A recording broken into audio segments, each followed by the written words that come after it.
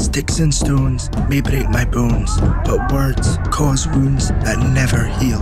Hate hurts. If you witness a hate crime, report it.